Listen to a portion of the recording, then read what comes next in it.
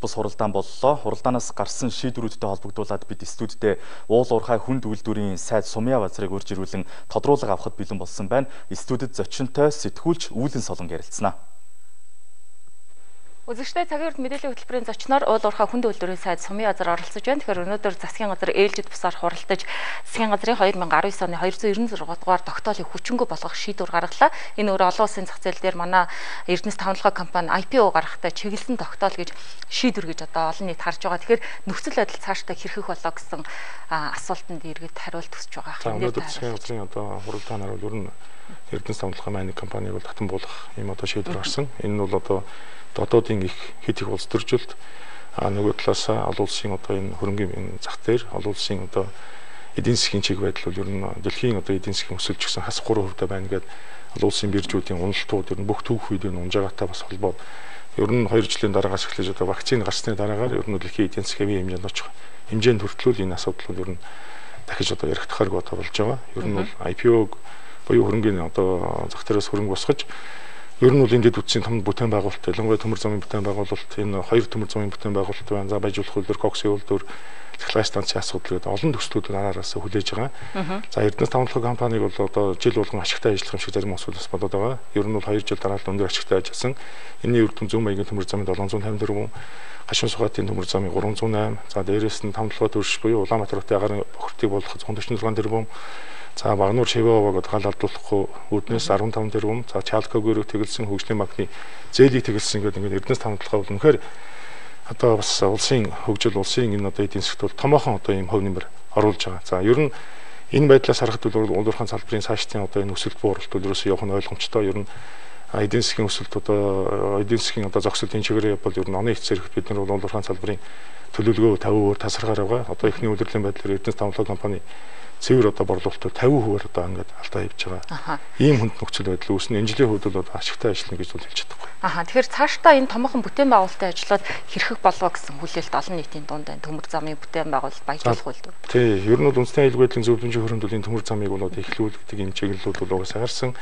Тэгээ зүүн маягийн төмөр зам дээр бол одоо 200 тэрбумыг бид нэр байгаагаа нөөцлөөд иргэдтэй бол 1079 ширх хувьцааны ногдлол ашигыг бол 199 тэрбум Тэгээ цааталт нэг 50 орчим тэрбум төгрөг санхүүжилт төгөлдгөр байгаа. Ер нь цаашлаад ер нь хүндрэлтэй байдал руу орно. Ер нь энэ санхүүжилтийн асуудлыг бид нар яралтай шийдэх ер нь урьдчилан нүүрсээ урьдчилан борлуулах ажлуудыг л ер нь төрийн өндөр хэмжээндээ одоо бас ойлголцож шийдвэр гаргахгүй бол энэ төмөр замын санхүүжилтийн асуудал дээр бол одоо ер нь бол бас хүндрэлтэй байдал бол үүсэх юм байгаа. Мэдээж энэ том одоо шинэ улсын бүтээн байгуулалтын ажлыг бол бид нар шатлаараа чармааж одоо бас ард нь гарахыг бол хичээж ажиллаж байгаа.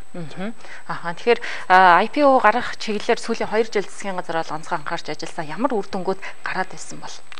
За ер нь бол ямар ч одоо жишээ нь эдийн засгийн одоо төвшөндөө ч гэсэн ер нь бодлогын төвшөнд бол мэдээж энэ том одоо дөрвимжт улсын үйлдвэрийн газар анхны одоо одоо дөрвимжт одоо үйлдвэрийн газар бол олон улсын хөрөнгөний биржээр гарахын бэлтгэлээ бүрэн хангах хэрэгтэй гэж харж байгаа. За биш гарантийн бол бүрдлүүл 80% гүйцэтгэлтэй явж байгаа. Одоо үлдсэн нь бол одоо техник эдийн засгийн үндэслэл буюу уул техникийн нөхцөлийг сайжруулах энэ ажлын одоо биш хөрөмтөл бол нэрх 7 хоногт бол ирээд 5 сарын 15-ны дотор энэ бичиг баримтууд ер нь 100% бэлдээд A1 буюу одоо бирж дээр гарах бичиг баримтууд бэлэн болно гэж ойлгож байна. Аха. Эрдэнэс тамдлогоо компани бол 10 жилийн хугацаанд Монголын эдийн засгийг за 3-аас 5 дахин хэлэх ийм томоохон төслөө олон улсын зах зээл дээр гарах нь ийм үр ашигтай гэж та төсөөлж бас тайлбар мэдээллийг хүргэж байсан л да. Тэгэхээр ойрын хугацаанд дэлхийн эдийн засгийн нөхцөл байдалтай ч гэсэн уялдаад төсөл бол IPO гарах асуудал бол хойшлох нэ. Тэгэхээр цаашдаа таас энэ IPO гарах чиглэлд анхаарах асуудлыг хэрхэн яаж харж байгаа бол? За зөв ер нь санал нэг байгаа. Аа одоо бид нар бол энэ эдийн засгийн одоо энэ уналттай хувьд бол бас таарж байна. Ер нь боломжтой цонх үе бол үнэхээр бид нар бол бас энэ хуулийн хүрээнд ялангуяа тендерийн хууль одоо 18 оны 11 сард уулнуудаа батлаа гаргах хэрэгтэй байсан. Тухайн үед улс төрчлөлт бас их яваад засгийн газрыг хөцрүүлэх өргөн барьсан асуудал дараа их хурлын даргын одоо хөцрүүлэх асуудал гисээр байгаад 19 оны 6 сар тендерийн хуулийг бол одоо шинжилнэ хариулгаар орсон. Энэ үед бол олон улсын тендер сонгон шалгаруулалт зарлах ийм хуулийн заалтууд орж ирж энээс хойш ажлууд хийгдсэн. А тэгэхээр ер нь Монголын хууль тогтоомжууд ялангуяа дотоодын улс төр за тэгээд дээрэс нь компани энэ одоо удирдлагууд бол дотроос асар их тийм эсэргүүцтэй бол угаасаа тулж бид нар хугацаа алдсан үнэн.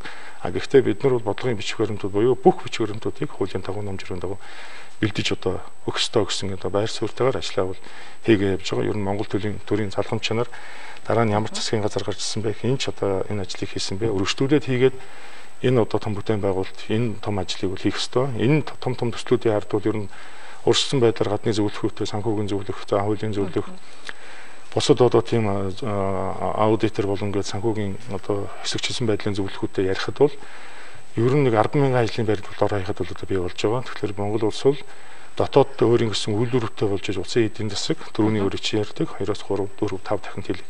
Ийм одоо ихний алхмууд бол тавигдаж эхэлнэ гэдэг юм одоо бодолтой байгаа итгэлтэй байгаа. За баярлалаа тад. Үзэгчтэй цагаарт мэдээллийн хөтөлбөрийн зочноор уулуурхай хүнд үйлдвэрийн сайд Сумын Азар оролцож Эрдэнэс 5-7 IPO гаргах асуудалтай холбоотой шийдвэрийн талаар мэдээллийг хүргэлээ.